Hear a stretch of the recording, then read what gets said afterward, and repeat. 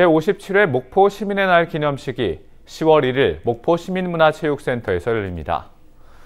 목포시는 시민의 날 기념식에 한부모 가정과 다문화 가정, 북한 이주민들이 가장 앞줄에 앉도록 배려하고 다양한 공연을 선보여 화합의 장을 만들기로 했습니다.